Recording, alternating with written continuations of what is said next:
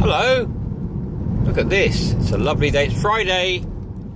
I'm tiggling back to Bicester. I've been to Luton. Uh, Bicester's a very good place to uh, end up, uh, especially on a Friday. A lovely sunny day like this. It's 22 degrees. Can you see that? 22. Chinese night. Sadly on my own because Leslie's working. Never mind. But uh, yeah, so shouldn't be too late home. That's good. Come back from Luton by to Bicester, all by little country roads, which is quite nice. Obviously, the quickest route. That's the way the Tom Tom's taken me. It's beautiful, as you can see. Just look, blue skies, fields. What more do you want? Anyway, I'll uh, I'll leave you on that one for now, and catch you soon. Have a good one. Bye.